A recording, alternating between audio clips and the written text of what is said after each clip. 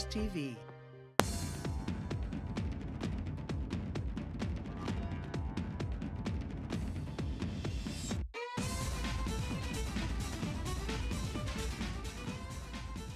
Hello, everybody. My name is Jason Piercey, and this is Out of the Fog. Uh, I got a little throwback for you here tonight. I think you're going to like this. Back in 2017, when you had a host of fresh faced new hosts, myself, Donnie Cody, and the incredibly bright and wonderful conversationalist, Melissa Royle, Melissa did a full length interview with three absolute legends. All the gentlemen from Buddy Wasisname and the other fellas. However, I mean, we still have a use for this because I don't know if you heard this or not, but Buddy Wasisname and the other fellows were just announced as recipients of the Order of Canada.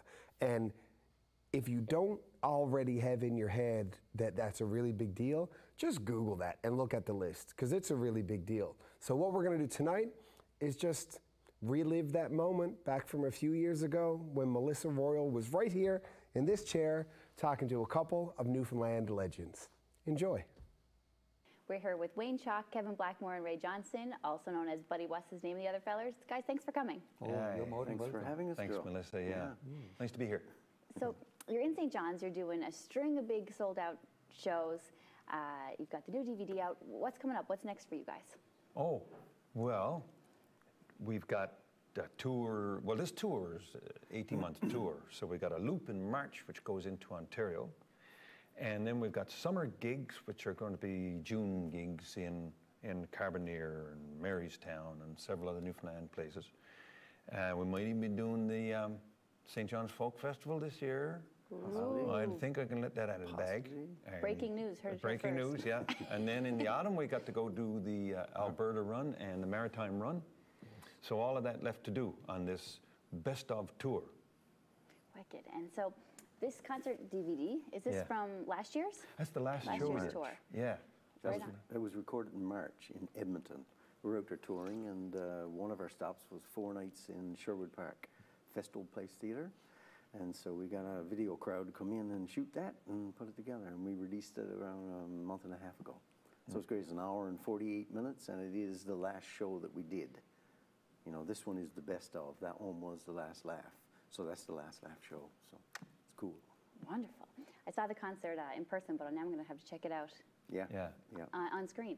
So you mentioned you're going um, back to Ontario and, and Alberta, and you've done Yes. lots of um, lots of shows, of course, all across the country. And I know you're often really gracious with your time and come out and meet your fans afterwards. Yes. What are some of the stories people have told you about what it means to see you uh, perform when they're from Newfoundland or, or kind of missing home or have that connection? You want to hear a few, do you? What's the best one? I'm sure you have a hundred. Oh, just- Every just night, so someone many. has given us extra validation to carry on. eh? Every night, someone comes up and requests that we never stop this. Mm. Every night, we get that feeling like this is a vital service to humanity. And all we started out to do was play some songs together. You know, we figured Yeah. we're all finished uh, performing publicly. And we just started to play together for personal enjoyment, you know, and it just sprung from there. And, uh, and it's kind of nice that it's, if you want to use the word organic, right? It's kind of nice that people appreciate it and, uh, and tell us so. So it's, uh, Every uh, now and again, you know, someone sends you a particularly poignant piece of correspondence. And some years ago, we had a woman contact us. At the time, we had put up on TV, this is back before email very common, of course, and it was a letter that came.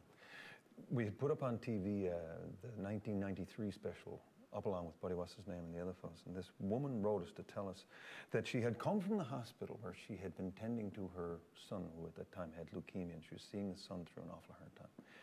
But when she got back home, her other children and her husband were watching up along with Buddy Wasisname and the other fellows. And she said it gave her so much more reason to feel optimistic and happy when she got home, you know, after having faced all of that. That's the kind of story we get an awful lot of those kinds of stories because people love what we do. It- Another common one is driving across the country, and if it wasn't for your fellow's tape or your fellow's CD or your fellow's music, I don't know what we would have done because it's the only thing keeps the youngsters happy. the stories You just roll on Yeah. and on and on. That you know, when we do this, you know, like he's telling the story, and that initiates a whole bunch, and so on and so forth. It just Yeah. goes. For some reason, I thought about the. Uh, we were playing in the stadium. I think it was Bay Roberts area a few years ago, right? And we're about to go on. The guy's introducing us, doing a little bit of a prolonged introduction, and open comes the door, and, and this woman says, "Guys, I got to tell you a quick little story. My brother was driving along in Saskatchewan a couple of weeks ago." And all of a sudden, he sees the lights and he gets hauled over by the, the, the police, right? So the, the, the policeman walks up to the car and he says, Sir, you were kind of swerving as you went. Is there any reason for that? And the guy says, Well, I know you're not going to take this as an excuse, but he said, I, I, I, I was listening to a comedy tape in my car. And the guy says, uh, So what, what was the group or what was the, uh, the comedian? It was Buddy, what's his name, and the Elephos from Newfoundland. The guy says, You're forgiving. I'm a big fan too. And he let him off for it. So- No way. That's better So than the pothole yeah. excuse. The Yammy. it was the was a- Yammy that did it to him. Uh, Yeah, the Yammy, yeah. So The Yammy. it's, uh, That's a good one. On the Yammy, I got to ask you. The Yammy to mower to chopper. Oh, if the, you were the good. set, the 454 set. Yeah. so if the 454 set was going to go into another gadget, what would it be?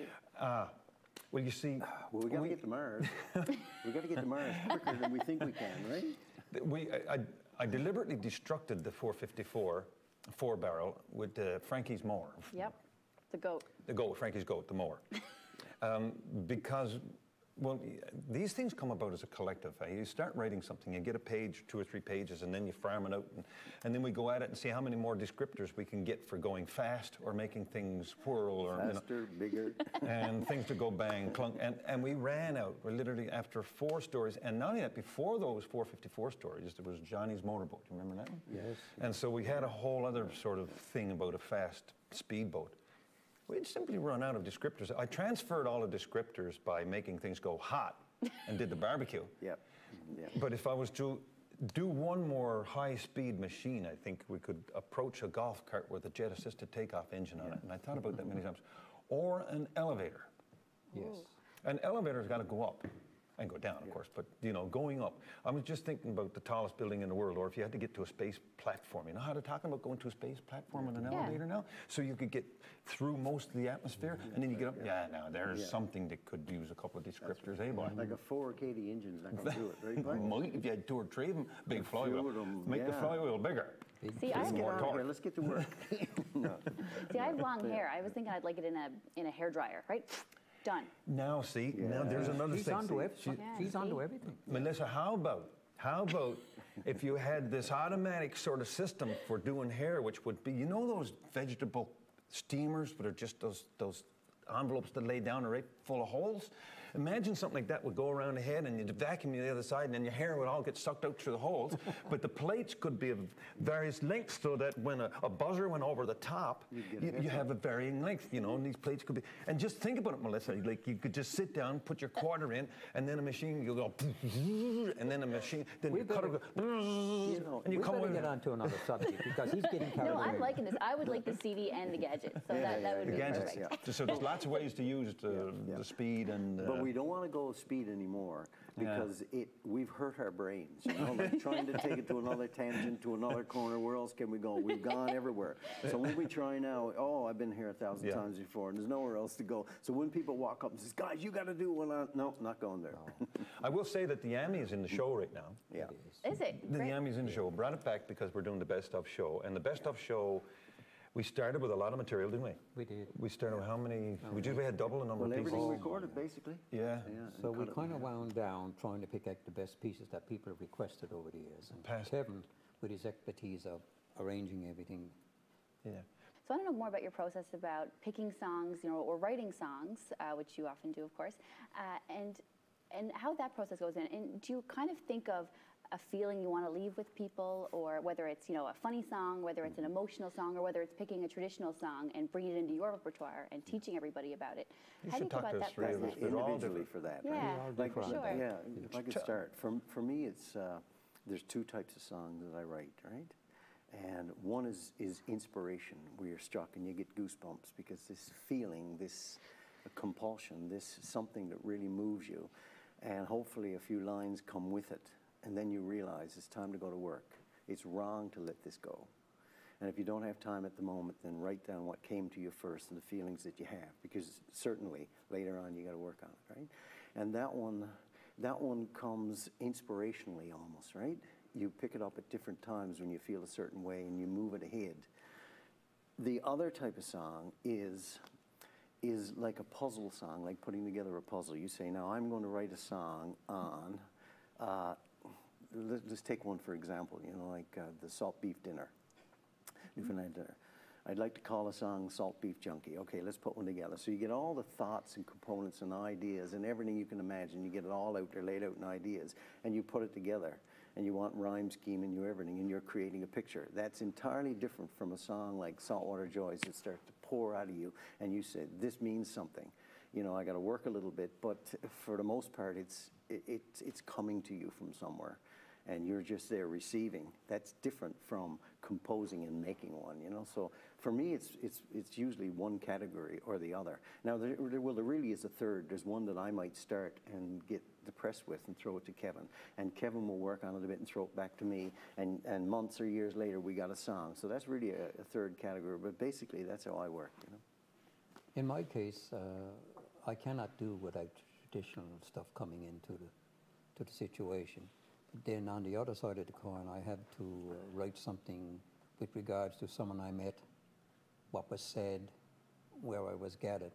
For instance, just yesterday, the people who was working on my daughter's house doing some contract work brought in a beautiful song by Lo- Loyola Hearn.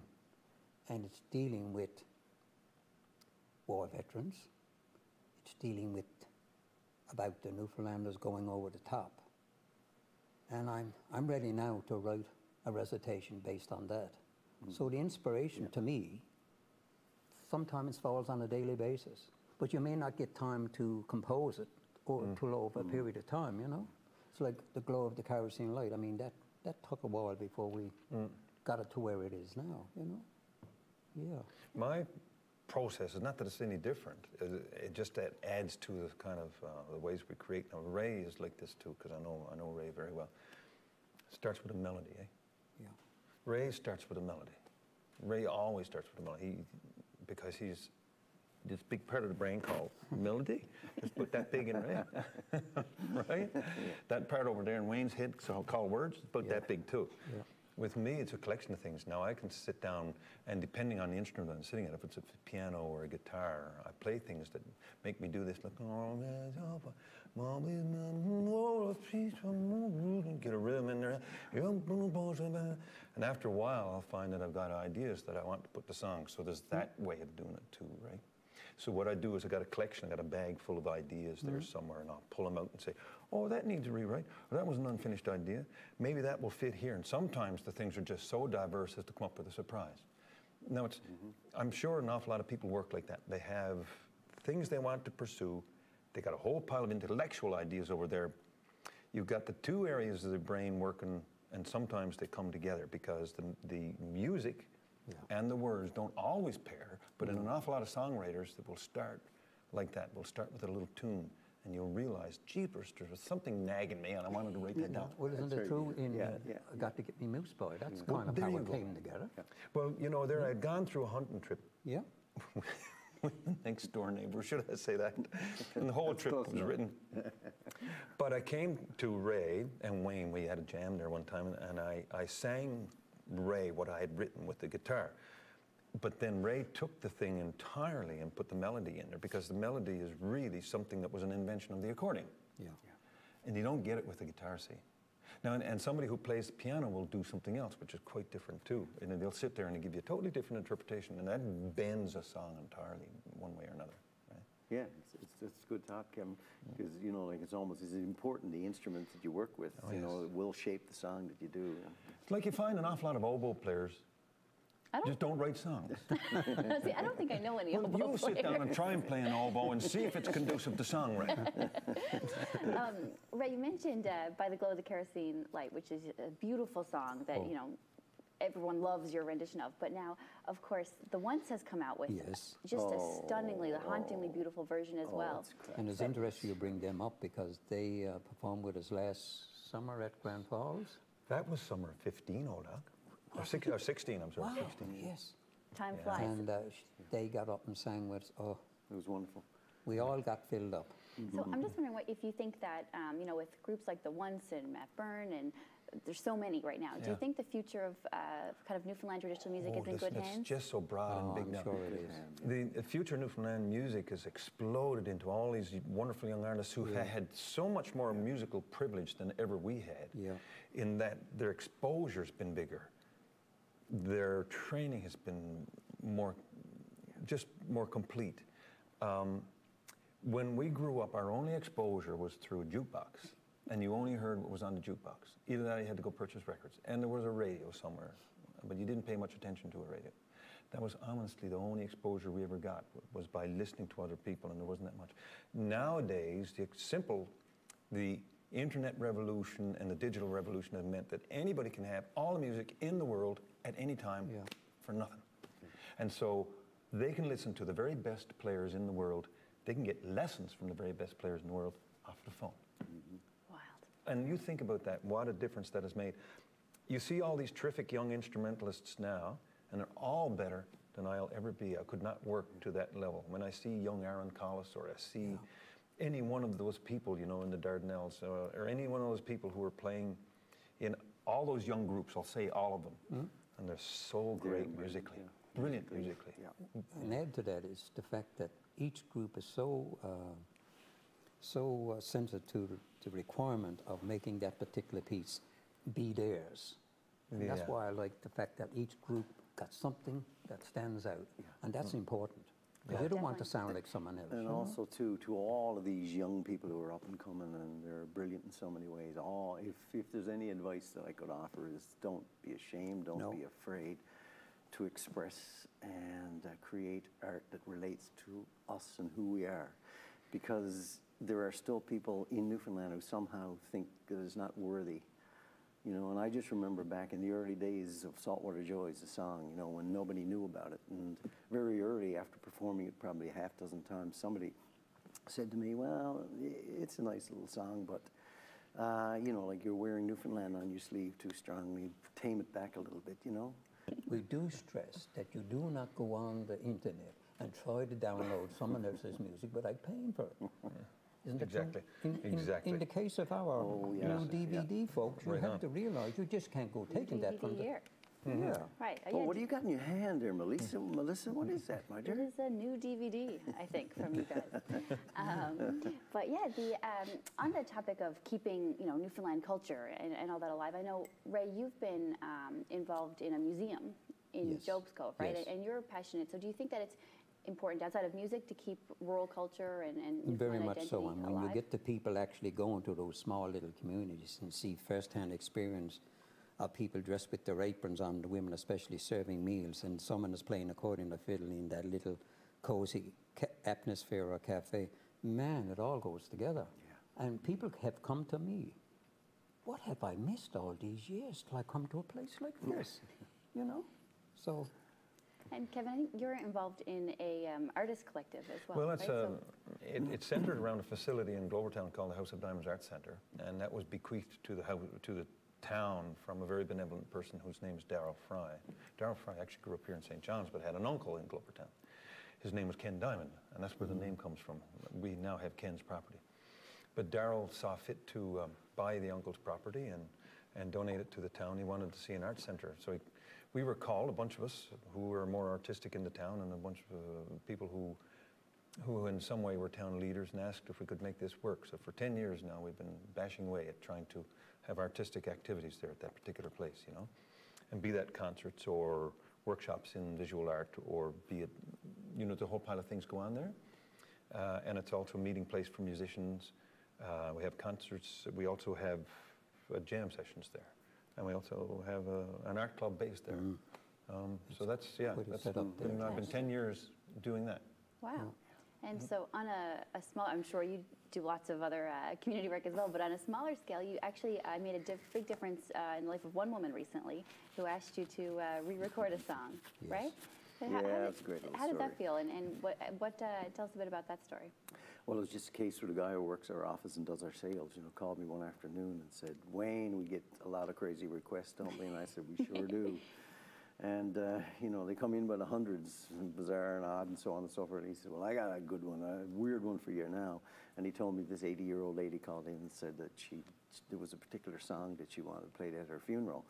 Uh, and he said, so which one is this? And she said, number seven on the 2.5 CD. And it's called Carry Me. She knew, you know, she had it all picked out. And uh, she said, but there's one little problem. Uh, they screwed it up. uh, they th- halfway through they picked up the tempo and, and spoiled the mood. And I want to play it at my funeral, so I want to keep the tempo the same all the way through. So I, I, I want you to tell them that I would like for them to go into the studio and re-record one copy for me, and uh, and just keep it at the same tempo. And Wayne said, "My darling, that might be an awful, that might be quite a task. I'm not sure the boys can do that." And she said, "Oh, oh, I'm, I'm their biggest fan. Oh, I love them. If they only knew me, they would do it for me, right?" so Wayne said, "So how do we handle that one?" And I said, "Well, you give me the phone number. I'll, I'll deal with it, right?" And Kevin and Ray at the time, we'd just come back from March, and Ray was talking about when he gets home, he got to do this, this, this. And Kevin says, Well, I got this and this, and the Diamond House, and all these outside of stuff. And as time ticked, I was bothered by the fact that we couldn't do it. And I said, Well, if that lady passes, I'm going to be hurt for a long Yeah. period of time. So I was in St. John's for a weekend, and my, my son has a little studio in his basement, and so on and so forth. So I went in and laid down all the basics and so on, and he put instruments on it and some vocals and so on and so forth. So three weeks later, I called up this lady, and she said, "Oh my God, you call? I thought you had it forgot." No, she said, "I know, I know you fellas wouldn't forget me. I know you wouldn't going to let me down." And I said, "Could you give me an address and all this sort of stuff?" So I got the address from from her and, and so on. And uh, instead of putting it in the mail, I decided, my wife and I decided to drive over and tap on her door and give it to her. And I'll never, I'll never forget the feeling, you know. Uh, you know, it was just, it was just so nice, and she was so grateful and so pleased. Right? It's good. Speaking of that feeling, I mean, you gave her that feeling. You've been giving audiences across Newfoundland, Labrador, and across the country that feeling uh, of happiness and, and contentment and proud to be Newfoundlander for so long. I want to know, um, outside of music and all that stuff, uh, Kevin, for you, what makes you smile? What makes you happy? Ah, my three daughters. I think if there's one thing that I did right, if I want to look upon anything that I did right, I think it's my three daughters. And I suppose that always makes me happy to be in their company. But I have a number of other pursuits, you know, things that I do for hobbies, and my life is thankfully it's got a broad palette of things that I, I love to dabble in. I like to dabble in visual art and painting, and, and I like to, and I also like to uh, record. Uh, I record for hobby, uh, and then I like to do outdoor things, gardening and hunting and fishing, and you know, getting wood, and, and then I have a workshop, and I like to be in the workshop. So, you know, my life is pretty rich and complex, and um, I think I don't like to be unhappy. And if I'm unhappy at any time, then I got to search for the reason, right? And get rid of it. Well, good to know. Is you happy? The answer is yes. Yeah, Yeah. you got to be happy. You gotta be happy. Yeah. So I know you have a little message you want to give out about your uh, your DVD. I understand. So uh, Oh, Well, you see indeed. This, you see this? why don't you take it away? Well, this particular message here, here- I mean, this is a, this particular DVD. There are a lot of sinners amongst us who will try and download that from the That's what I was alluding to earlier. So Yes. shameful. Yeah. They will, and theirs is the worst sin of all. This is not to be downloaded. If you want to do the right thing, you pay for that. So what kind of a sin is it though? That's A blind sin. the is it? blind The sin. blind sin, Kevin. They do not realize that they are sinning because they are doing it blindly. And we have a we have a little chorus we want to sing, Yes. so that everybody out there in the congregation will do the right thing.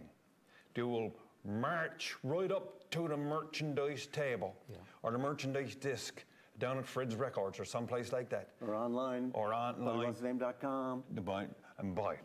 We will sing the chorus together, will we? We will do that, sir. Mm, I'm not a sinner. I won't be tempted to try and download the show for free. I won't be falling into temptation. I will purchase the DVD. Yes, I will purchase the DVD. I will do the right thing. And I will be a, a saint, not a sinner. Hallelujah for that. not bad. Thank you so much. Perfect. Message received. Uh, thanks so much for coming in and Oh, looking you're forward to your welcome. show Thanks, this week. Thanks, Thanks for for Pleasure being us. here. Thanks. Thank you. Give me an X, will you? I want to split that junk open some bad. No, we need it for the next show. Yeah, that's right. Yeah. So when would We'll be right back to after this.